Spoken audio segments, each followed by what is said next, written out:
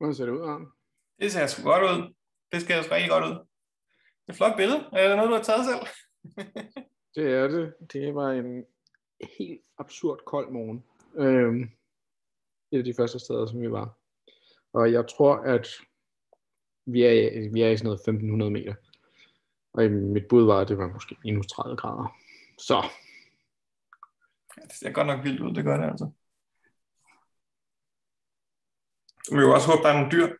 og det er ikke bare landskabsbilleder det hele. Det, nej, det, der er masser af dyr. Bare roligt. Det er ikke nogen, som man sådan ellers normalt øh, ser. Det, det virker meget gudsforladt der generelt, vil jeg sige. Men når man først ligesom får set efter, så for alvor, så, så er der faktisk rigtig mange dyr. Og det er lidt en overraskelse. Nå, men det kan være, at tiden snart er ved at være inde. Øhm, så det, jeg vil sige, Rasmus, det er, at du bare introducerer dig selv, og hvor du kommer fra, øhm, og så kører du ellers foredraget i dit eget tempo. Ja. Så. Vi kan godt starte, så sige, der er 10 personer med. Der er nogle stykker, som jeg kender fra gammel tid, og det synes jeg er rigtig hyggeligt. Uh, så, men for jer, som der ikke kender mig, så hedder jeg som sagt Rasmus. Og øh, jeg er en af de der tosser, øh, som, øh, som altid har gået og pillet øh, fra helt fra barns ben. Og jeg har en, øh, en bachelorgrad øh, fra, fra bio, fra biologi på Københavns Universitet i første runde. Der så var jeg et helt år i Australien, hvor jeg har taget et Postgraduate Diploma of Science i tropisk økologi og naturbevaring i, i Australien, James Cook University. Så har jeg en kandidat også fra Statens Historisk Museum, hvor jeg er nu, øh, så har jeg været en tur i USA og i Panama under et stort projekt øh, på University of California Davis, og nu er jeg så tilbage igen i Danmark på en, en bevilling øh, fra, fra Vilum øh, på et projekt, som jeg ikke taler om i dag, men det kan være, at jeg får muligheden for at gøre det en anden gang. Og det, jeg vil snakke om her i dag, det er øh, nogle projekter, to projekter, som jeg har haft gang i i, i, i Mongoliet siden 2015, Øh, og øh, det, det for, for ligesom at give nogen en, en idé om, om jeg, havde, jeg havde lidt behov for at, at så snakke lidt om Mongoliet, fordi der er ikke så mange mennesker, der har været i, øh, i Mongoliet, som jeg kender personligt. Og for mig er det sådan lidt en fjern ting. Øh, og øh, vi, vi blev, jeg blev kontaktet via min, min tidligere phd vejleder Francesco af en italiener, der boede i Mongoliet, Øh, han er gift med en mongolsk kvinde, og øh, han, han er biolog, og han er øh, lidt en tosse. Han hedder Claudio. Øh, og han er lidt en tosse, og lidt en eventyr på, på alle fronter. Og han havde, øh, han havde fået en henvendelse fra de øh, mongolske øh, myndigheder, om han ikke havde lyst til at lave en survey i den aller, aller, aller øh, vestligste del af Mongoliet efter sneleoparder. Og på det tidspunkt, der gik Francesco, min vejleder og jeg, gik vi ind på øh, IUCN's øh, udbredelseskort for sneleoparder. Øh, og IUCN er den, er den store øh, internationale, det, det er et organ under FN, som der, der laver øh, bevaringsstatus af forskellige dyr. Og, og på det tidspunkt, så altså det område, som han gerne vil undersøge, det er der, hvor den røde plet, den er her på kortet. Og der var ikke nogen sneleoparder i det område, så vi synes i det hele taget, det var sådan en lille smule besynderligt overhovedet at få forespørgselen om at, at tage til Mongoliet, men øh, jeg, sådan, jeg, jeg vidste ikke særlig meget om Mongoliet, ikke? men altså, Mongoliet er så trods alt ret langt væk øh, fra Danmark øh, til at starte med, og det er sådan, det, det er faktisk verdens 19. største land, det, det er et temmelig stort land sådan per, per landareal, og der er stort set ikke noget vand overhovedet. Og jeg mener gennemsnitshøjden, den er sådan et eller andet sted mellem 800 meter og 1200 meter over havet, sådan gennemsnitligt, så der er bare ingen vand, og det er meget, meget højt oppe. Så det er faktisk verdens tyndest befolkede land, hvis man ikke tæller Grønland med, øh, med, med cirka to personer per kvadratkilometer. Der er ingen mennesker, og det er endda lidt skævt sagt at sige to personer per kvadratkilometer, fordi halvdelen af landets befolkning bor i hovedstaden. Så den er vel nærmere en person per kvadratkilometer, når du ligesom kommer uden for hovedstadsområdet, så det er et ekstremt tyndt befolket land. Det var en tidligere sovjetrepublik, dengang Sovjetunionen, det var en ting, men før det, øh, der var der jo meget stor global indflydelse fra øh, Mongoliet, der kom ud via øh, Genghis og, og Kublai Khan, som, som faktisk der i 1279, der var imperiet helt oppe øh, i, i de europæiske grænser, altså glem alt om romeriet og hvor stort romeriet var. Det mongolske imperie, det var næsten, næsten fem gange større i, i udbredelse i forhold til. Så det historisk uh, har det haft ret stor betydning, og rent, rent faktisk er det sådan så, at, uh, at der er nogle undersøgelser, der viser, at uh, en ud af 200 mænd er direkte nedkommer af uh, Kublai Khan og Genghis Khan, simpelthen fordi de var meget reproduktive. Nu vil sige det på den måde, der var mange konkubiner i gang. Så er der 60 millioner kashmirgeder i Mongoliet. Øh, fra et land, som der, der kun har øh, øh, øh, ja, ikke engang, ikke engang 3 millioner mennesker, øh, så er 60 millioner kashmirgeder immer væk et tal, som der vil noget, og det har faktisk ret stor betydning for, for hele øh, den her øh, foredrag, som jeg vil give, øh, og det kommer vi ind på.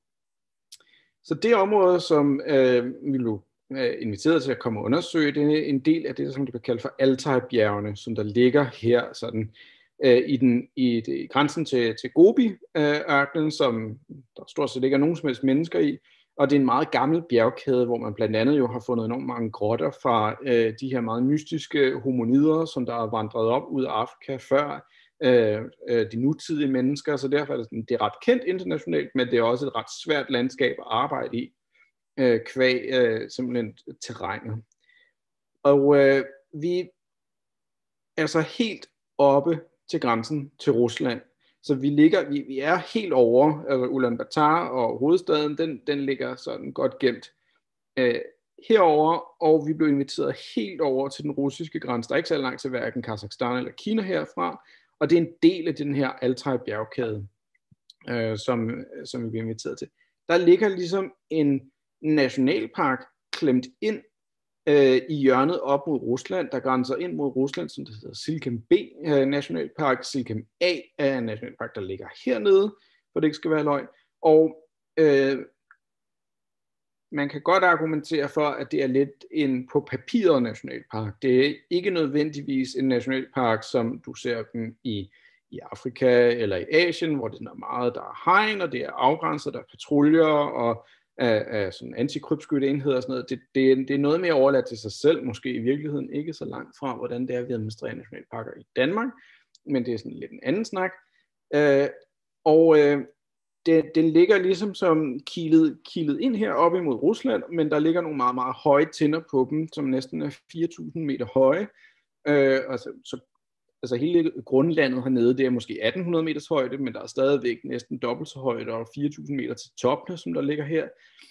Øh, og det er så her, at vi skulle undersøge, om der var sneleoparder. Det, det var cirka 500 kvadratkilometer, hvilket øh, er, er sådan en, en relativt, så dem som der er fra Københavnsområdet, så er det sådan cirka fire gange Amers størrelse, men på ingen måde lige så flad som Amager, må vi jo nok også øh, erkende. Øh, og vi kunne faktisk ikke finde noget som helst, der var publiceret fra det her område. Så vi tænkte, ja, det er fint, det gør vi da bare.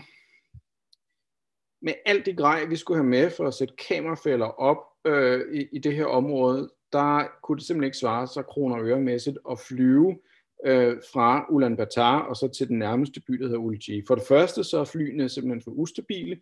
Øh, det kan meget vel være sådan, så at øh, du går i lufthavnen, og du har købt en billet til en dag, men så flyver den ikke. Den flyver heller ikke dagen efter eller dagen efter det. Øh, den flyver, når det passer dem. Så det, for det første var det ekstremt dyrt at flyve, og for det andet, så var det simpelthen for usikker på, altså det vindue, vi ligesom havde øh, for at skulle sætte kamerafælder op, øh, det, det var simpelthen for snævert øh, i forhold til, til, til det her tidspunkt. Så vi besluttede os for at køre Øh, og det, øh, der var lige knap 1700 km til mm, og så lige en chat videre op til Nationalparken, som der sådan ligger det op i det hjørne her. Øh, og det tog ikke 24 timer, det tog 5 dage. Og når man kører i marts måned, og man tænker på marts måned, øh, som værende, værende sådan et, et dejligt tidspunkt på året, det var det ikke i Mongoliet det her, det var mere eller mindre teamet undertegnet, står længst til over til venstre, min, min, min vejleder Francesco her, det er det. Claudio, der er bosat i øh, Mongoliet. Det her, det var vores tolk. Der var en anden Claudio med, som der også arbejder meget tæt sammen med min vejleder Francesco her, og så vores mongolske øh, team her, hvor at den ene af dem, han var sådan en nationalpark ranger, det, men, men sådan lidt højere op i systemet, og en, som der var meget lokal i det, to stykker chauffører og en familie, som vi boede hos i deres vintergør, og så Lisa, som der står her, som var med som et filmhold, og Frederik Wolf Teilhus, som øh, øh, ellers altid kun ses øh, bag kameraet, helst i sneen, øh, og helst uden at have vanter på. Jeg ved ikke helt, hvordan at de ikke faldt af hans fingre, men det, men det gjorde de ikke. Øhm, men vi tog så afsted fra Ulaanbaatar i to biler øh, for at køre. Han lægger mærke til den der fantastisk smukke, øh, klare luft, som der er i Mongoliet. Der er øh, deres primære brændsel af kul, øh, og det kan man godt mærke. Øh, Ulaanbaatar er vist nok den mest forurenede storby øh, overhovedet i, i, i verden, og det tror fanden, fordi det er simpelthen sådan, at ja, øh, trække vejret i suppe, det er ret ubehageligt. Og så satte vi ellers afsted i de her to biler, øh, velvidende, at det ville tage os fem dage at komme afsted.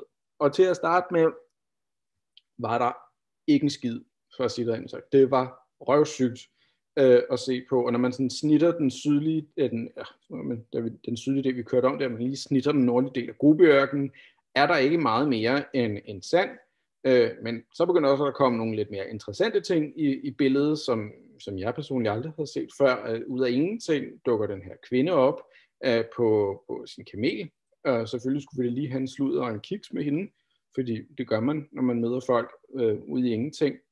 Og når man så kommer længere over mod vest, så begynder bjergene så småt at rejse sig, og så bliver landskabet meget mere interessant at, at, at se på, meget mere dramatisk, men ikke mindre koldt vil jeg sige. Så temperaturerne i Gobiørken var koldt i forvejen, men når man så først kom over til Altajbjergene, så blev det for alvor koldt.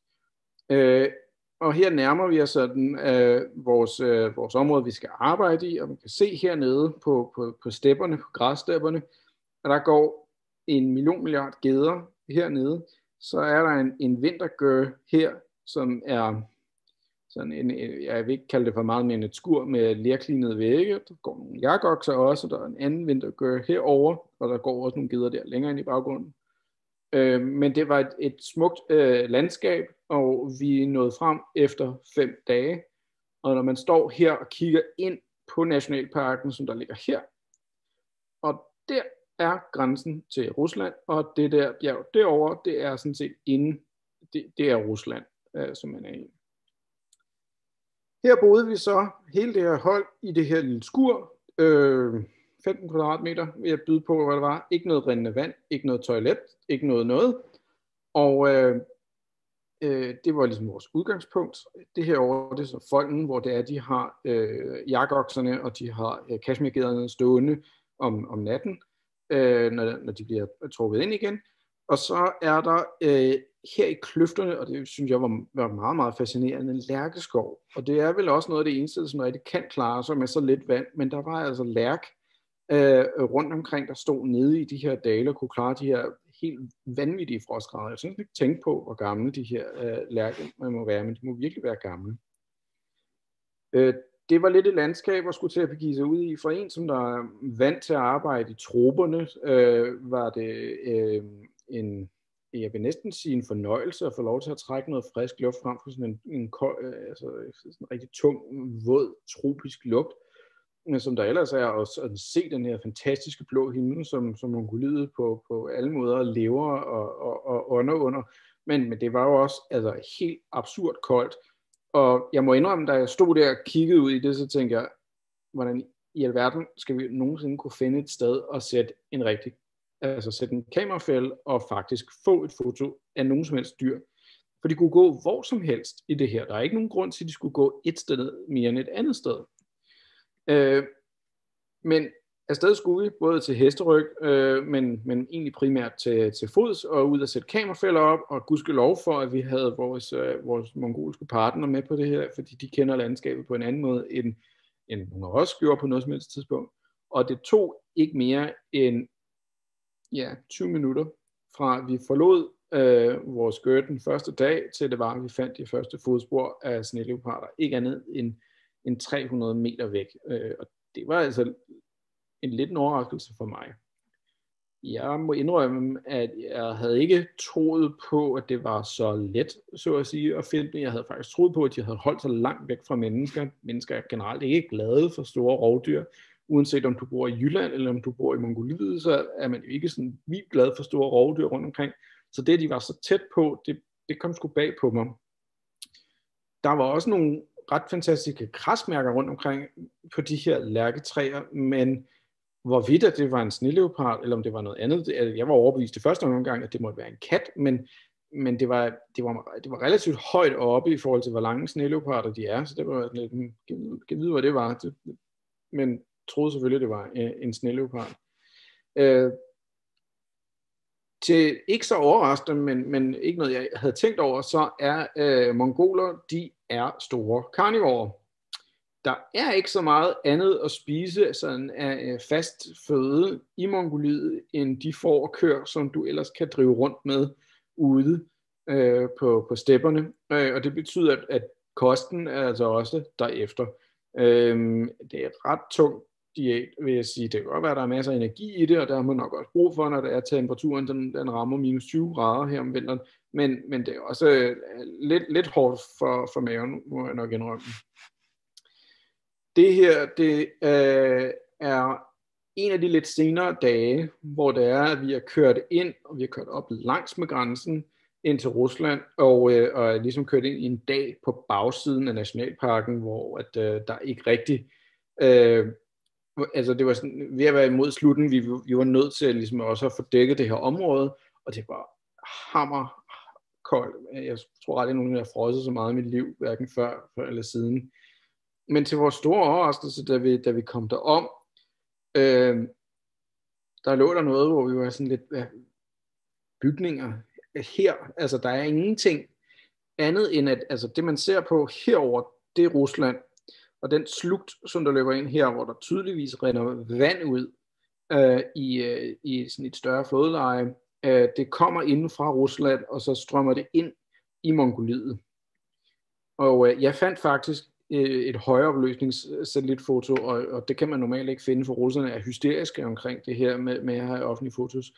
Øh, men det viser sig, kunne vi så ligesom lure lidt på de tolke, som vi, vi, vi havde her, at det faktisk er en, øh, en, var en illegal sølvmine, hvor at russerne de var kommet fra Rusland øh, ind over grænsen, man kan tydeligt se vejen her, og så kan man faktisk se, hvordan den slanger sig ned her. Så efter at Sovjetunionen den brød sammen, øh, det er 92, så var russerne, de var simpelthen flyttet ind i Mongoliet, havde etableret en, øh, en illegal sølvmine. Øh, jeg tror faktisk, at man sådan lige er hernede og smelte i kan se, I kan se skorstenen, den er her på, på den store smeltedil.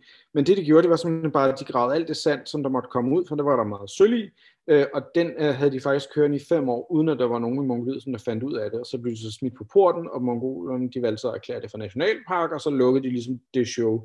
Øh, og der er grænseposter nu med folk, der er bemandet og sådan noget heroppe mod Rusland, fordi de vil helst ikke invaderes igen men, men det var jo meget bizart at rende rundt i den her spøgelsesby, hvor der faktisk var fodaftryk af sneloparter, der løb lige durk øh, igennem den her spøgelsesby. Altså, det havde fandme været vildt at sætte kamera op der og få en sneleopard i sådan en, øh, en, en, forladt sølvmine. Øh, det skulle lige til National Geographic. Jeg har sådan lidt det, jeg er nødt til at skulle tilbage og gøre på et eller andet tidspunkt. Øhm, og så var man jo lige pludselig ekstremt tæt på grænsen, så det kan godt være, at jeg har været illegal inde i Rusland, men det er der ikke nogen, der ved noget som helst om, hvis jeg har. Så fik vi noget i de her kamerafælder, og øh, ikke overraskende, så var noget af det, som, som øh, der, der kom op først, det var de her stenbuk i sibirisk stenbuk, øh, og dem så vi også, da vi var dernede, hvor de går her på, på skrænterne og spiser øh, små græsser og laver, og hvad de ellers skal komme til at gå på nogle hældninger, hvor man tænker, det burde fysisk være umuligt det her, men, men det kan de altså. Øh, så fik vi øh, som foråret ligesom skrev frem murmeldyr, sibiriske murmeldyr, de her øh, gnavere, som der vejer øh, et par kilo, øh, og sover meget, meget lang vintersøvn.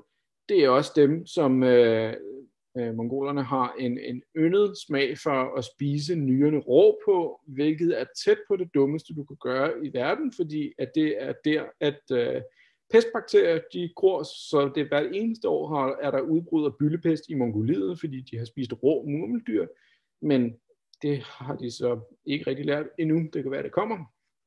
Så var der VM, og så var der faktisk noget, som der overraskede mig ret meget. Der var temmelig mange mordyr. Så det her, det er sådan en, en steppeilder, kalder de den for. Der er øh, husmorgen, som på engelsk hedder stone marten, og på mange måder giver mere mening, fordi de lever jo primært i sten, altså steder, hvor de kan lave huler og andre ting og sager, hvilket er sådan lidt, ja, det er derfor, de laver det i vores huse og noget, fordi det minder lidt om det habitat. Øh, og så var der jav. Og der var faktisk så mange jav, at Claudio efterfølgende er gået i gang med at lave en PhD på sneleoparder på jav i området, fordi øh, der var faktisk øh, mange flere af dem, vi overhovedet troede, der ville være. Øh, så vi fik faktisk flere fotos af jav, end vi fik af, af sneleopard, men der var så også øh, de gode gamle grå ulve, og de er rørende upopulære i, i Mongoliet, og Mongoliet er et af de få steder i verden, hvor der rent faktisk er problemer med ulve i forhold til, til mennesker direkte. Øhm, så øh, de er, de er ganske forhatte. Og så er der, fik vi sneleoparderne. Så vi fik faktisk de første sådan bekræftede fotos af sneleoparder. Og den her sneleopard, den går lige præcis på grænsen mellem Rusland og Mongoliet hvilket vil sige, det er nok ikke, altså man må nok anse de dyr, som vi har arbejdet med øh, hernede og fandt, som værende ikke unikke for Mongoliet, men som værende en del af en bestand, som der har pendlet frem og tilbage til Rusland. Og det kommer der lidt mere på.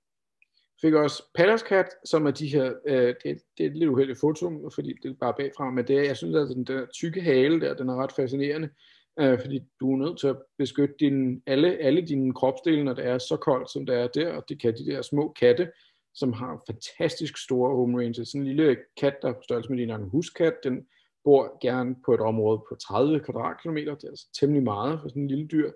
Øh, men vi fik en fornuftig mængde fotos af sneleoparder, og det var jo i det hele taget en ret stor overraskelse for os.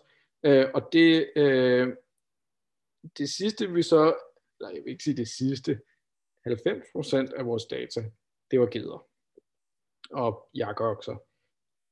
Det var meget tydeligt, når man bevægede sig rundt i området dernede, at selvom det var erklæret en nationalpark, så brugte alle de her traditionelle hyrder bjergene som, øh, som deres vinterforårskammer for dyrene. Og vi fik også en, en, en lille artikel ud af det, som, øh, som kom ud i, i Oryx, og det vi rent faktisk fandt ud af, når det var, vi analyserede, hvordan vores data ligesom var, var, var fordelt ud over på det, hele det her område, det var, at øh, stenbukken, som er en hjemhørende ged, øh, kan man vel ikke andet kalde den for, den blev fortrængt af alle tamdyrene, hvorimod sneleoparden på den nærmeste blev tiltrukket. Det er jo lidt uheldigt, øh, i forhold til, at sneleoparder er øh, stadigvæk er troede dyr. Øh, de har dog en enorm respekt for det, lader det til i Mongoliet. Men lurer mig, om en, øh, en hyrde ikke ligesom har en, en øvre tærskelværdi for, hvor mange geder, som det er, at øh, de, de føler, de kan tåle at miste, før det er, at de hævner sig øh, på, på sneleoparderne. Øh, hvad skriver Anna? Anna skriver, nu har lige sagt, at det er voldsomt tilfældigt, hvor man sætter sit kamera, men hvilke parametre forsøgte jeg alligevel at trække? Yes, jo, det vil jeg gerne. Øh, rigtig godt spørgsmål. Så det blev meget klart for os, at når du havde de her tvungne passager, hvor landskabet det simpelthen snævrede ind, så det er ligesom om det kun var et sted, at det for alvor ligesom kunne lade sig gøre, øh, og, og, og gå igennem øh, nogle klippesprækker eller noget, hvor, hvor du ikke skulle til at kravle på væggene, bogstaveligt talt, så var din sandsynlighed for at få noget, det var meget, meget, meget større. Den anden del af det var, at når du havde de her mere, øh, de her bjergkamme eller, øh, eller ryggene, du ville simpelthen have, næsten kunne, du skulle selvfølgelig kunne se det, men du ville meget, du kunne se, der er dyreveksler der, hvor det på den nærmeste var mest effektivt at gå for dyrene. Øh, og det, også noget, man ser i skovene i trupperne, hvor jeg ellers arbejder, men det er meget mere tydeligt i, i trupperne. Du skal sådan øh, virkelig stå i landskabet og kigge øh, i, i Mongoliet, før at du ligesom kan se, okay, det må være den her vej, der, dernede af, at de bevæger sig, eller deroppe over, de bevæger sig for, for ligesom at finde et godt sted. Øh, og det, altså til alt held, at vi havde vores mongolske samarbejdspartnere, fordi de virkelig øh, var, var skrabe øh, til det her der var de kortet her i forhold til grænsen, så det var den her sneleopard, som der var øh, lige præcis på grænsen til Mongoliet. Og de andre her, de er relativt tæt, så jeg kan se, de firkantede klodser her, det er simpelthen øh, vinterhytter for, for de her lokale hytter. øh, hyrder, som der bevæger sig rundt ude øh, på, på græsstepperne, ellers de, der er ude i landskabet her om sommeren. De trækker derind om vinteren, og jeg vil se, at sneleoparderne, de er ganske tæt på flere af de her hytter øh, i, i området. Så det, det, altså, der lader simpelthen til at være øh, en, en hold i det her med, at de bliver simpelthen tiltrukket til tamdyrene. Det er måske ikke så ulogisk. Det er jo nok lettere at fange en, en kashmirged, som der er blevet avlet til at have uld, en, øh, en, sådan en, øh, en stenbuk, som øh, på den nærmeste kan løbe op af, af lodrette skråninger. Øh, så ja, godt for snilleoparden, ikke så godt for, for gederne, og i sidste ende ikke særlig godt øh, for, for snilleoparden. Det vi så også kunne se meget tydeligt på vores kamerafælder, og det er jo faktisk den, der var heroppe her, det var, at snilleoparderne simpelthen trak direkte ind i Rusland herfra. Og det øh, tror jeg var lidt en overraskelse for os alle sammen, fordi Rusland er ikke kendt for at, at have særlig mange snilleoparder. Og man må også tænke på, at, at der, hvor man ved rigtig meget om snilleoparder, det er øh, i Himalaya. Og Himalaya er bare det tættere på ekvator, som betyder, at der er det mere sol, som det betyder, at der er det mere primærproduktion. Så der er så meget mere af, af forskellige arter af bjerggeder og, og andre ungulater i det område, hvor at, altså, når vi er her, så er vi sådan noget i midten af Tyskland, øh, og, og så er vi så lige et eller andet sted mellem 1800 meter og 4000 meters højde.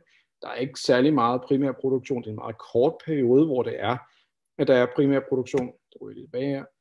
Øh, og, og det betyder simpelthen, at det, altså det, at de er her, gør jo, at det, det er lidt utroligt. Det er ikke et landskab med, med store mængder af ressourcer. Øh, Frederik Wolf Teilhus og, øh, og Annalisa, de fik lavet en dokumentar ud af det, som har vundet adskillige øh, øh, film, internationale filmpriser. Den kan ses på Vimeo, og det giver lidt mere et indtryk af i levende billeder, hvordan det er at rende rundt dernede, men ikke så meget sådan om, om forskning og de resultater, der ligesom kom ud af det, men jeg vil bare sige sådan lidt, den er, den er værd at se, så I kan skrive til mig, hvis I vil have det direkte link, så kan vi jo kan vi hitte ud af det derfra. Øh, hvad er der så sket med det her data sidenhen? Øh, så Claudio, øh, som der er bosat i Mongoliet, har brugt enormt meget tid på at snakke med, med IUCN og give dem da, vores data og, og hente, altså, øh, vores, vores resultater. Det har faktisk gjort, at IUCN har opdateret deres kort fra det var, vi startede, og at man nu ved, øh, eller ligesom har plottet ind, at snilleoparderne rent faktisk er øh, på det her sted i, i området, og det boostede faktisk også hele den russiske side af deres forskning på, på sneleoparder i Rusland, som de måske lidt havde glemt i hele den historie om sibiriske tiger og murleoparder, og sådan, noget, når ja, vi har forresten også sneleoparder. Og det betyder altså, at vores lille område her, som øh, er, nu er kommet på kortet, men det gør russerne, de gik ud, og lige pludselig så ved man, at de var der, og de var der, og de var der, og så er der en hel masse lyserøde områder, hvor man er sådan lidt, ja, det, det skal vi så have undersøgt, men øh, at der faktisk nok er flere sneleoparder heroppe i den nordlige del, end man på noget som helst tidspunkt havde troet. Øh, så havde jeg den fornøjelse, at øh, Claudio han inviterede mig og min viv øh, på en omgang feltarbejde øh, nede omkring noget familie, noget, noget forlænget familien har, som kun var fire timers kørsel syd fra Ulaanbaatar. Og det var i august måned, øh, hvilket er helt fantastisk tidspunkt at besøge Mongoliet på. Det er skønne dagstemperaturer mellem 18 og 20 grader. Alting er grønt. Der falder lidt regn. Der falder faktisk lidt, lidt meget regn en gang imellem. Øh, men det er virkelig behageligt. Det er helt fantastisk. Det er slet ikke så ulydeligt, øh, som, øh, som det er om vinteren, hvor det er bare pissehammerende koldt. Øh, og Mongoliet viser sig helt klart for nogle af sine aller, aller smukkeste sider på, på den her årstid. Det er et lidt sært sted. Øh, det er ikke beskyttet område. Det står ikke nogen steder i nogen som helst bøger. Men Claudio han kender det simpelthen, fordi at hans øh, for, forlængede familie de har øh, deres øh, sommergræsningsområder øh, dernede. De er stadigvæk hyrde. Og den nordlige del af det område her er græssteppe. Der er nogle bjerge hernede, som er, er næsten 1600 meter høje. Og så er der ørkensteppen ned sydfra, som er øh, øh, som der kommer over fra, fra vest. Øh, der er en lille smule vand, hvilket i sig selv er sjældent i, i Mongoliet. Og så er der de her sanddyner, som der simpelthen har trukket op øh, nede fra øh, Gobi-ørkenen og, øh, og har lavet et helt andet til habitat. Og hele det her område er kun de her små 50 kvadratkilometer, øh, og det er jo, det er jo et, et forsvindende lille promille af hele øh, Mongoliets størrelse, men det har altså noget helt særligt. Så vi boede, øh, i denne her gang boede vi i telt, øh, hvilket var en, en stor fornøjelse på den her årstid at gøre. Øh, vi blev øh, hilst velkommen af de lokale, øh, og de ser jo meget nuttet ud, de her øh, små mongolske mastiffer, øh, men de vokser sig altså store og bliver til nogle øh, ej, bæster øh, af, den, af den anden verden. Øh, og det er der en, en rigtig god grund til, fordi de fungerer lige præcis som hyrde og, og, og vogthunden, øh, og det er primært ulve, som folk er meget bekymrede for øh, og har problemer med der. For at give et indtryk af, sådan, hvordan det her område er, så er det her rigtig fine, grønne øh, græsstepper, som der så kommer bjergene, som der som ligger sig op af. Der er nogle meget tydelige skæld om, hvornår det er, det bliver til sådan ørkensteppe, og hvornår det bliver til græssteppe, hvilket altså, det, det var ret utroligt at se, hvor tydeligt de her skæld de simpelthen var imellem. Og så har vi de her sanddyner, øh, som, som virkelig er bare sand, som der er blæst ind, som der ligger nogle store, tunge dyner øh, ind over øh, græsstepperne. Der er altså nogle enkelte relikvier tilbage fra, fra sovjettiden, øh, som der ligger som ruiner rundt omkring. Jeg har ingen anelse om, hvad, hvad i alverden det har været. Det tror jeg ikke engang, det lokale rigtig vil sige, hvis det var sådan nogle udposter, der var rundt omkring.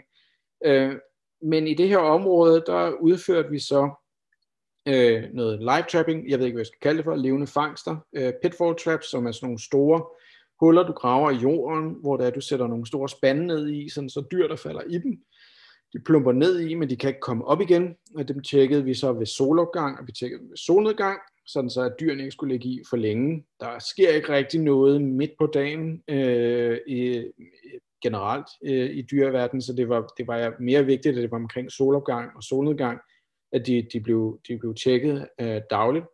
Så havde vi også de her små Sherman traps, som er sådan nogle små klapfælder, øh, som er sådan levende fælder. Øh, man kan finde noget, der minder om dem i din lokale Harald Nyborg til at fange mus og rotter, hvis du ikke har hjerte nok til at slå dem ihjel. Men, men øh, det er sådan nogle lidt mere prof aluminiums øh, ting, som vi havde gang i.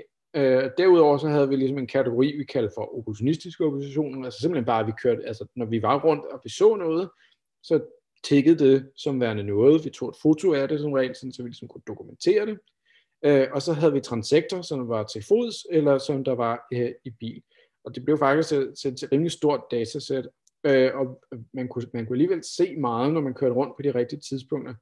Øh, det her det er sådan en, en kosakrev, som er en, en slægtning til den røde rev, men den er eksklusivt fundet ude på de her øh, græsstepper. Der var igen de her sibiriske stenbukke, Øh, de er ikke sådan specielt almindelige på det her, øh, i den her del, men de er netop lige præcis, hvor det er, du forventer at se en stenbuk. De er netop på, på, på bjergene, som der var. Så er der det, som man kalder for agali, og jeg ved ikke engang, hvad man kalder det for andet end agali for på dansk.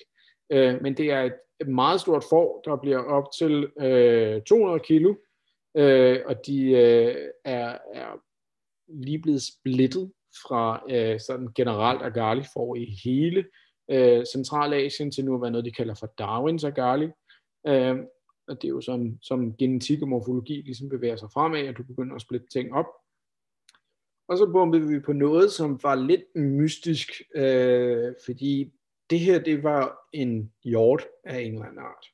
Øh, og vi så dem faktisk også, øh, som, som vi gik rundt. Og øh, det er vapitier, man kalder dem også for øh, elk i Nordamerika. Og øh, det var noget, som jeg egentlig ikke vidste, før det var, at jeg tog afsted, men vapistierne har faktisk øh, et større udbredelsesområde i, i, i Asien, end de har i, i Nordamerika, selvom man, man altid tænker, som biolog tænker man vapidier som værende øh, USA's svar på en forvokset kronhjort, og de er også meget store, men de findes altså simpelthen også, de er vandret over Beringstrædet på et eller andet tidspunkt og ind i Asien, og der har de altså fået det noget bedre. Men lige præcis der, hvor vi var, øh, burde der ikke være var vapitier. Øh, og det øh, var noget, vi kunne forstå på de lokale, at de faktisk var indvandret lige præcis til det område her inden for de sidste 10 år. Altså så det er en nylig indvandring. Og højst sandsynligt sydfra, øh, fra Gobiørkenen, ikke nordfra, fordi der øh, er simpelthen for mange mennesker, ligesom til at de på den måde normalt vil trænge hjem, fordi de bliver skudt for et godt ord. Øh, det nåede også at blive øh, et fint lille øh, studie, som, som der, der blev udgivet. Og øh, at alt i alt, der endte vi altså med at finde øh, intet mindre end 31 pattedyrarter. Og det er altså øh, faktisk mere end 25 procent af, af alle de pattedyr, der er fundet i Mongoliet, ikke øh, medregnet flagermus, fordi det er en helt anden liga, når der du begynder at have med flagermus at gøre. Men altså simpelthen på 50 kvadratkilometer kunne du simpelthen finde mere end 25 procent af alt, hvad der er registreret på noget som helst tidspunkt i Mongoliet. Øh, og det er altså et meget, meget lille sted. Så er der tre arter, som vi simpelthen fik nye udbredelsesdata for. Det ene var Rapitin, som jeg snakkede om her, det andet det var Roborovskis hamster, Uh, og den sidste, det var sådan en lille studsmus, som der fandtes meget om, omkring det der lille uh, vandet dernede, det vandhul, der var, og hvordan i alverden de kom der til, det er der jo ingen, der ved. Uh, der var blandt andet to arter af, af ørkenrotter, som der stort set ikke var til at kende fra hinanden, men uh, når man kiggede ordentligt efter på negle og på, på halespidser og sådan noget, så kunne man faktisk godt se forskel. Uh, og derudover så fik vi netop fotos af ulve, kosakrevne, røde rev, palaskatten var der igen, husmoren var der, så er der noget, der hedder en asiatisk grævling, den var der også, det var også en overraskelse, det er heller ikke lige stedet. Øh, så er der en meget flad øh, ilder her, som der var blevet kørt ned.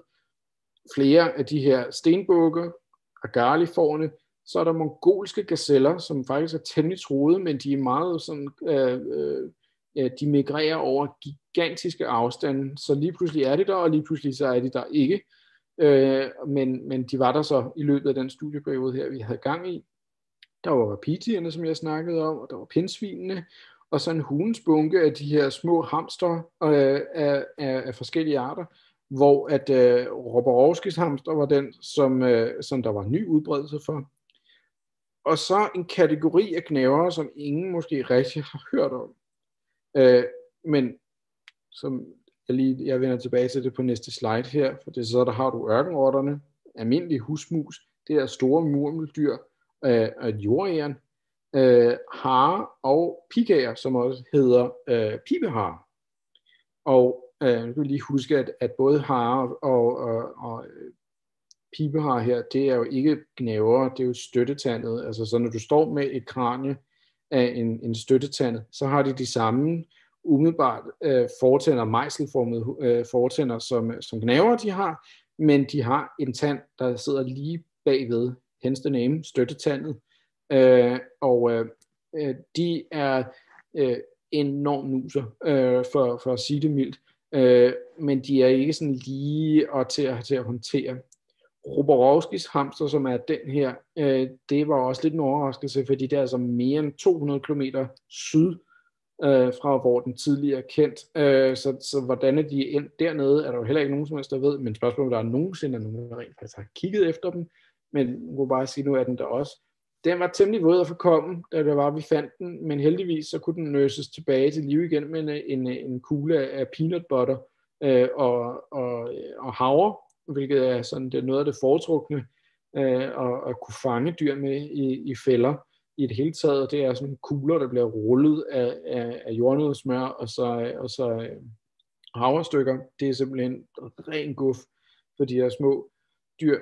Og så ellers de her, den her pibehare, som vi fandt, og der vil jeg så sige, hvis der nogensinde er nogen, der skal arbejde med øh, at, at fange øh, støttetandede dyr, note to self, de kan ikke tåle at blive håndteret særlig længe. Den, den, den krassede ikke af for os, men den, den blev sgu noget slatten på et tidspunkt, Øh, så så øh, det, det kan godt være, at de ikke nødvendigvis lider specielt meget af at være i fælden, fordi det ligesom er øh, et mørkt sted, og der er ro på. Men når du først har taget dem ud af fælden og begynder at undersøge dem, så skal det altså gå ret tjept, fordi de kan sgu ikke tage det. De bliver stresset, og så, øh, så bliver, de, bliver de meget slatne, og så skal man altså lige have dem øh, kølet lidt af, og, og de skal have noget mørke og have noget fred, og så skal de nok komme sig. Øh, men det er sådan, hvor knæver er super robuste, du kan stort set ikke slå dem ihjel, så er støttetandet altså noget mere øh, følsomme. Og så de her jaboaer, og det her det er et billede, jeg har tyvstjålet, fordi man kan simpelthen se, hvor at Star Wars de har fået idéer til nogle af deres kræ dernede. Vi havde også den her langøre jaguar, og vi så den, øh, men vi fangede kun øh, dens fætter, som er øh, en, der, den hedder den trætåede jaguar, ikke fordi den ser mindre nuser ud øh, i, i min optik, men den har noget mindre ører, så det er selvfølgelig et minus for den, men det er simpelthen utroligt dyr at have stået med. Den blev fanget ude i de her sanddyner, som ligesom kan, kan se til og den er så tilpasset det her miljø. De her super lange kænguruagtige ben og mikrosmå forben, øh, hvor at, øh, at, at, en virkelig de hopper jo virkelig og kan sponse afsted med hastigheder, man tror, der er løgn. Alle de her hår på snuden, som er med til ligesom at kunne filtrere støv og sand ud af det. Og så det her flag, som det hedder på halen, som de faktisk bruger til at styre med, så de kan vinkle det her flag, sådan så når det er, de drejer den ene eller den anden vej, så giver det dem støtte, aerodynamisk støtte, simpelthen til at kunne løbe i, i, igennem øh, landskabet. Og så de her, nu har den nævnt tre tær, med de her super behårede tær, som jo umiddelbart ser meget tynde ud, men når de så først spreder fødderne ud, øh, så har de, kan de jo sådan en dække over et enormt område, men uden at de får grillet fusserne, selvom de primært er, er nataktive. Det var sgu noget af en oplevelse, det var indrømmen. Øh, så fandt vi også øh, spor af, af ulve, samtidig med vi også fandt deres lorte. Fik den jo også i kamerafælden. Øh, og det er jo altid sådan lidt interessant, øh, fordi når du går ud i, i Mongoliet og handler i et stormagasin, så vil der være en sektion, som der ser sådan her ud. Øh, og øh, det, der må være en forsker, som der mangler sin ulve. Øh, fordi de her to, de hedder øretags i, og det er ikke sådan nogle tags, du bruger øh, til, til gaveprocessen for at holde styr på, øh, hvad der er. Det her det er en forsker, som der har sat øre, øretags i, og det har i hvert fald mistet to ulve på, på den konto. Øh, men de der koster 70 euro, hvis det skulle være for nogen. Jeg kan ikke huske, hvad lospelsen herovre den kostede, men øh, øh, de var de er ikke specielt dyre, hvis nogen skulle være interesseret for det. Og det er jo fordi, at folk øh, ikke er specielt glade for de her store øh, rovdyr og det må jo også bare ligesom være nogen til sig selv, det er bare, at de er super upopulære, og der skal altså noget data på bordet, og der skal noget beskyttelse til, hvis vi gerne vil beholde dem. Nu har ulvene det stadigvæk okay i den del af verden, ikke? men ikke blive ved på den her måde. Øh, feltarbejde øh, er altid en, øh, en oplevelse på den ene eller på den anden måde. Øh, så vi, vi tog en, en rulletur øh, efter et gedin regnvejr og meget mudder øh, på vej tilbage. Øh, der skete ikke noget, hvilket var mere end heldigt og blev fejret med en, en, en øl efterfølgende. Jeg vil sige, efter min første tur, øh, hvor det var, at, øh, det var vinter, der havde jeg fået reddet mig et eller andet med hjem, som der sendte mig øh, 10 dage på hospitalet, øh, og jeg tabte 10 kilo, før jeg blev tæppebunket med antibiotika, så der var, at øh, min lever på den nærmeste, den stod af, øh, og de fandt aldrig ud af, hvad det var, men videre Hospital havde udmærket service. Hvad jeg kan huske, når jeg ikke var fuldstændig desillusioneret. Øh, og så vil jeg sige øh, til en note til alle, som der, der tænker, de skal ud og lave feltarbejde, at, øh, at øh, to af de italienere, der var med på det her sommerfeltarbejde her, øh, som vist nok var deres første feltarbejde nogensinde, kunne jeg ligesom gå ud fra, de var ikke beredte.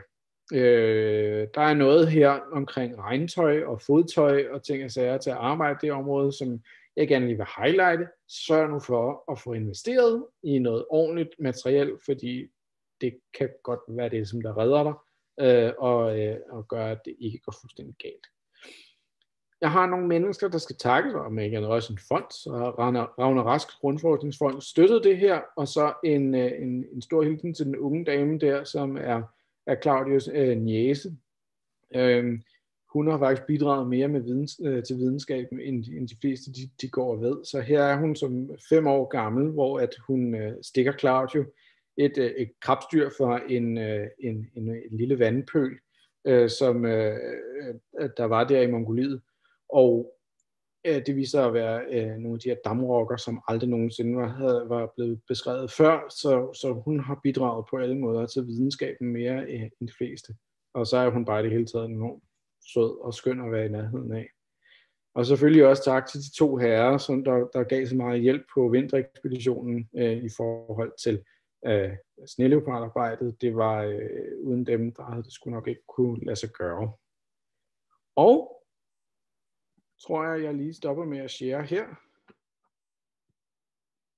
Sådan der. Er der nogen, som der har nogle spørgsmål til det her?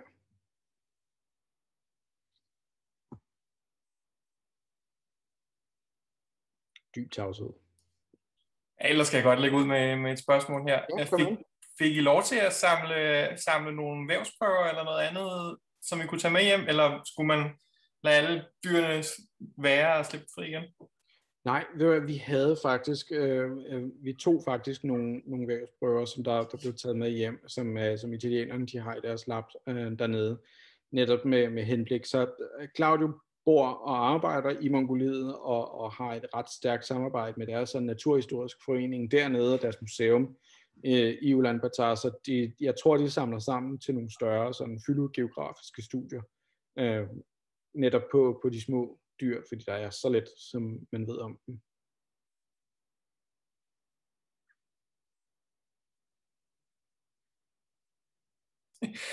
Ja, hvis der er ikke nogen andre, der har nogle spørgsmål, måske man kan stille uh, hvad som helst. Der, der er, jeg tror, Rasmus han kan svare på dem næsten alle sammen. Jeg skal ikke være bleg. Ellers kan man også skrive dem i chatten, hvis man har lyst til det.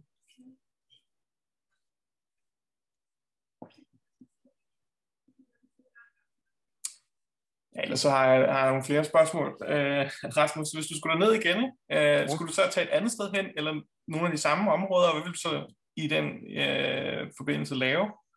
Øhm, ja, Claudia har sådan en lidt længere øh, projekt øh, ønske, ønskeliste. Så, så han har faktisk blevet spurgt om, at han ikke har lyst til at sætte GPS-halsbånd på, på sneleoparderne dernede. Øh, både nogen i central Mongoliet, fordi han han har faktisk fundet en, en ny population af sneleoparder, som der ikke var nogen, der vidste, der var, øh, og det er, den, det er den mest østlige population af sneleoparder overhovedet. Og øh, de må have vandret over 300 km over øh, sand, øh, sandørkenen, og hvor ofte de gør det, og hvordan der var ledet, så ligesom et stort spørgsmål i, i sådan deres bevaring, så han var faktisk blevet spurgt om, om det var noget, han ville være interesseret i. Et, sådan et det vil han godt, men han ved ikke noget om GPS-halsbånd, og sådan, det, det er faktisk det, jeg arbejder med nu. Øh, så det kan godt være, at det, det bliver det næste, som vi skal. Jeg kunne rigtig godt tænke mig at komme ned og se, de har en, en stor nationalpark, der ligger ikke særlig langt uden for, for, for Ulan Bator, øh, som hedder Husdej Nationalpark. Og det er der, hvor at genudsætning af Preservalskis heste, den er foregået over de sidste, de sidste mange år. Ikke? Så de har flere hundrede præsevalske heste der, som der løber rundt ude på de her store øh, græsstepper. Det vil, jeg, det vil jeg fandme gerne opleve. Det, det vil jeg bare se det og opleve det. Det vil jeg rigtig gerne. Øh, det kunne være rigtig sjovt. Jeg har et spørgsmål. Ja. Men jeg stiller lidt som sådan en øh, ung, uerfaren forsker. Øh, men der var en del af...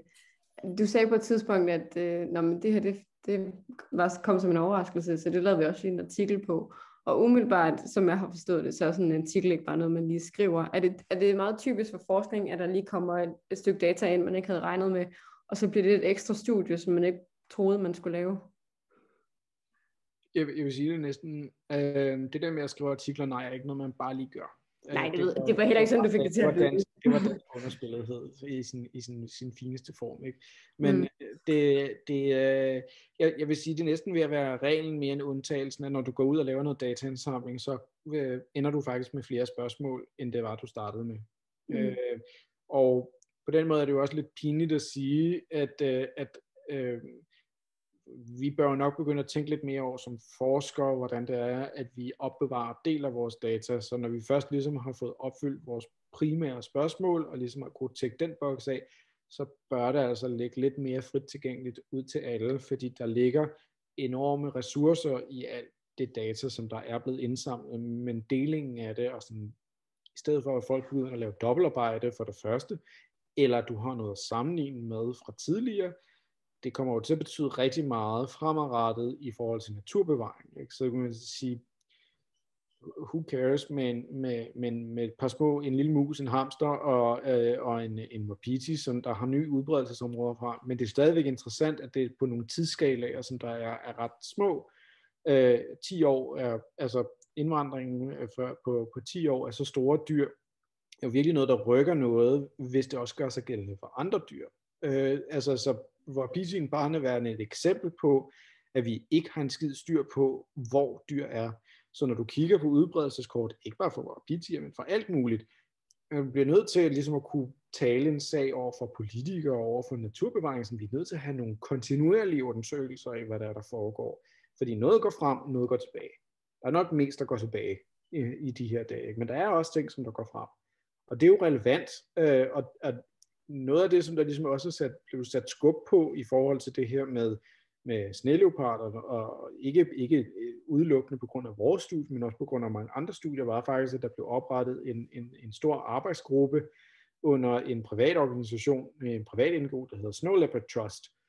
Og de var ligesom i stand til at være bindeled for mere eller mindre alle mennesker, der nogensinde har arbejdet med sneleoparder. Og lige pludselig gjorde det, at de kunne samle data, og de kunne sige, Sneleoparder er faktisk ikke kritisk udrydningstruet længere. De er nok stadigvæk troet, men det står faktisk ikke så gralt til, som det gjorde. Og, og det, det, det udløser jo sådan en lidt mærkelig politisk situation, hvor at de falder, altså de går faktisk, altså de får en forbedret øh, status som værende troet. Men så sidder man jo på den anden side og siger, men så skal man vel bruge mindre ressourcer på dem, fordi nu har det vel meget godt. Det er sådan, ja, argumentet er nok i virkeligheden, at vi bliver bedre til at lede efter dem. Det er ikke det samme som, at de har det skide godt. Men det er, sådan, det er igen, hvordan er man som forsker ligesom er i stand til at, at kommunikere sin fund, og er i stand til at øh, øh, ikke bare sælge sine idéer, men også dele sine idéer med andre.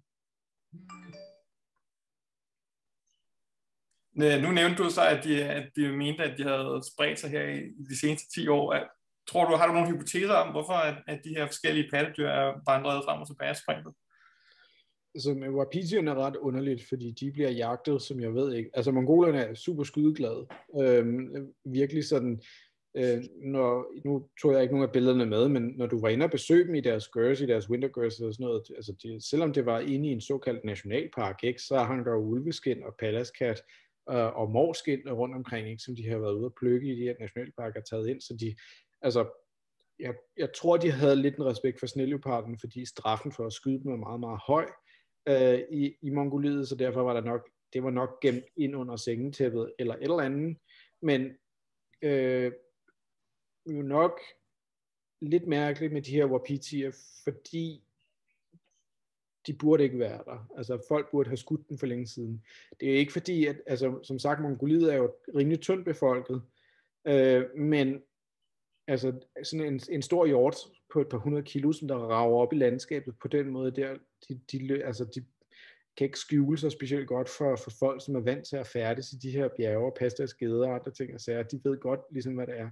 Så vi er lidt mystificeret over det, øh, fordi der er altså der er ikke rigtig nogen regulering på dem, eller jagttid eller noget som helst, men lige pludselig så er de der. En eller anden grund.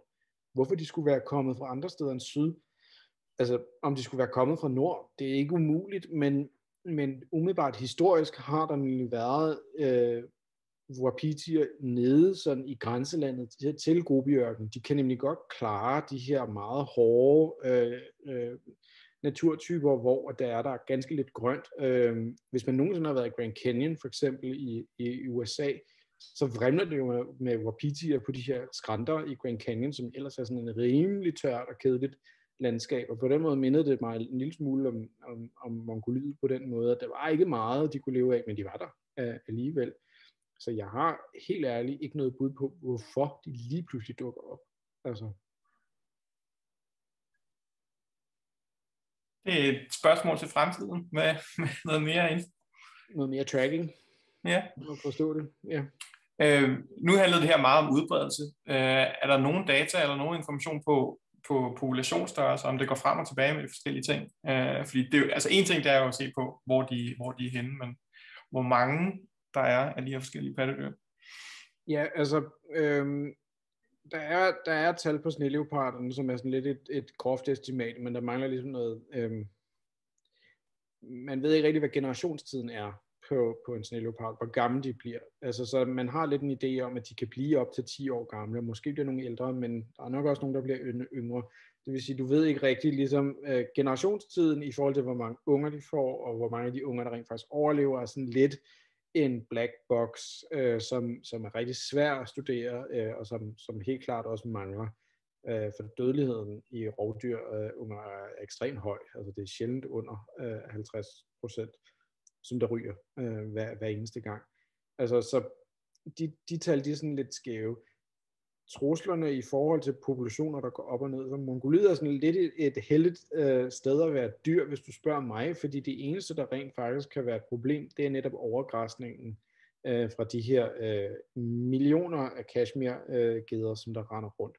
Og det er selvfølgelig et problem, at habitaterne bliver forringet, men de bliver ikke ødelagt, fordi så ødelægger hyrderne stadigvæk deres egen levebrød i den forstand. Og Mongoliet kan ikke rigtig dyrkes. Altså når du kører rundt i Mongoliet, der er ikke nogen marker, der er meget lidt minedrift, og den, de miner, der er, de er jo enormt afgrænset og lokalt. Og det vil sige, at størstedelen af det, som folk laver, det er, at de er kvæghyrder, og det vil sige, at de har alligevel en eller anden forbindelse til naturen, de prøver alligevel at passe på den, fordi det er direkte ud af deres egen levebrød.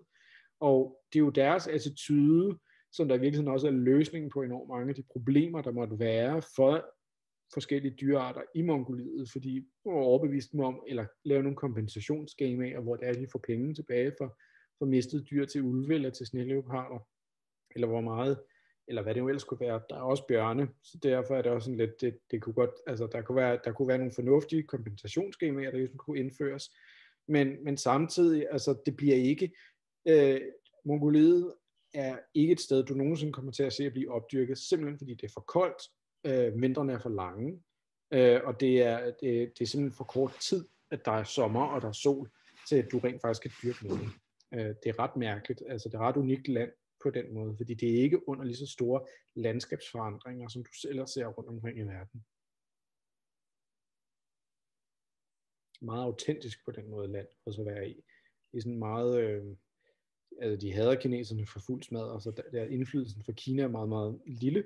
Øh, der er selvfølgelig noget handel med, med, med russerne, øh, men det, det er stadigvæk meget begrænset, og primært i form af, af uld og, og altså naturalier, ikke sådan noget andet på den måde, og så de er jo enormt stærke kulturmæssigt, øh, sådan grænsen måske til storhedsvandvidet, simpelthen på grund af deres historik med sådan, uh, Genghis Khan og Kublai Khan og, og global indflydelse og sådan noget. Og deres sprog minder jo ikke om noget, som du har hverken i Kina eller på den måde i Rusland. Ikke? Det er jo et helt vildt sprog, ikke? så de er under meget lidt kulturelt indflydelse også, så derfor er det sådan lidt, hvad Mongoliet bestemmer sig for at gøre af deres sag. De er ikke rigtig under pres på den måde udefra. Øh, der er selvfølgelig noget med noget minedrift, ikke, som der godt er nogle store penge i, og, og det er også meget tydeligt, når du kommer, kommer til Ulaanbaatar, øh, at, øh, at der er nogle penge, der ligesom er blevet skudt i øh, Mongoliet, højst sandsynligt på grund af minedrift, men, men Øh, et land så stort, øh, skal der altså alligevel nogle år til, før de for alvor ligesom får smadret hele landskabet. Og generelt har de jo haft en, en tro og en, en, en kulturel tro på, at det der er i jorden, det skal du lade være. Øh, og det er ret sjovt, når du hører sådan, snakker med lokalbefolkningen dernede, at, altså, at det der med at grave i jorden og sådan noget, det skal man helst lade være med. Det, der, er ikke noget, der kommer ikke noget godt ud af jorden. Det er meget interessant. Det er jo anderledes i forhold til andre steder i verden. Jeg sige. Jeg vil anbe- altså, det er ret billigt at tage til Mongoliet. Det lyder mærkeligt, øh, når det er så langt væk, men altså, du, kan, du kan komme der til for, for omkring 5.000 kroner retur øh, fra København via Istanbul. Øh, og det er sådan, Mongoliet er ikke, altså det, det er ikke dyrt, det er heller ikke sådan hjernedødt billigt, som at tage til nogle steder i Sydøstasien, men det er altså heller ikke, øh, altså øh, hjernedødt dyrt øh, overhovedet. Øh, så, så jeg vil anbefale til alle, som der, der ligesom øh, var lidt eventyrløsende, og det er et meget sikkert land. Altså, der er ikke nogen kriminalitet dernede. Øh, det er meget indespist, men, men øh, der er ikke nogen kriminalitet eller overfald eller problemer med tyveri eller noget. De er buddhister, overvejende buddhister. Øh, så det er sådan, de er enormt søde og, og gæstfri. De er ret ligeglade med, at du er der som vesterlænding, hvor at hvis du, altså, folk er jo også enormt søde i, i for eksempel i, i Indien, men der er sådan, folk sværmer lidt om, om, om en i, i Indien, hvor i Mongoliet er de fuldstændig ligeglade. De, de ignorerer dig fuldstændig, øh, og er, er lidt ligeglade med, om du er der eller ej. Så det er en ret befriende oplevelse at være i Mongoliet. Så du kan anbefale en, en pattedyr safari til, til Mongoliet? Ja, og det er jo faktisk en voksende industri for dem øh, med at lave pattedyrs safarier, fordi det faktisk viser sig, altså fordi at Mongoliet ikke har lige så høje bjerge som i øh, Himalaya for eksempel, så er det faktisk et sted, det er lettere at se sneleoparder end, øh, end mange andre steder i verden. Fordi altså, i Himalaya kan de være hvor som helst fra, fra 1800 meter til, til 8000 meter. Øh, ah, ikke 8000, men 5,5 kan de godt findes op i. Og i Mongoliet er bjergene ikke lige så høje, de er noget mere flade, dem der er, fordi de er så meget ældre også øh, i, i Mongoliet. Og det vil sige, det, det er nemmere at bevæge sig rundt som person dernede, Øh, og det er nemmere ligesom at sige, men vi ved, at der er snilleoparder et eller andet sted på den her temmelig store sten, men vi skal ligesom gør en indsats og sætter os ned og kigger, så kan det godt være, at vi kommer til at se den. Øh, og jeg vil sige, at de, dem vi boede hos derovre, hyrderne der, det var sådan, at de sagde, ja, men de så dem et par gange om ugen, et par gange om ugen. Men, men ja, altså så øh, det er en, det er en voksende industri for dem faktisk, natur, øh, naturturisme.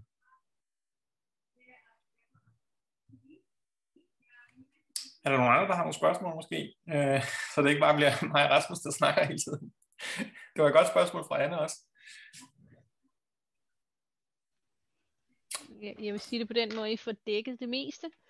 Øh, jeg vil spørge, om der var noget krybskytteri, men det kan jeg forstå. Det er ikke det helt store problem i, i et så tyndt befolket område ikke til salg i hvert fald. Det er jo primært for enten øh, til egen beskyttelse eller til, øh, til egen konsumering, skulle jeg til at sige, sin egen pelsjakker eller hatte, eller hvad folk de nu end måtte lave. Ja, ja. Men, men, men et indtryk er egentlig ikke, at det er en industri, som de sælger ud af i landet. Altså, så selvfølgelig så kan du godt gå ind i det store magasin der, i hovedstaden, hvor der er nogle ulveskin og sådan, men, men i forhold til hvad, altså, hvad du ellers hører om og ser rundt omkring i verden, er det peanuts. Mm. Ja, jamen, det fornemmer jeg. Hvad med infektionsrisikoen?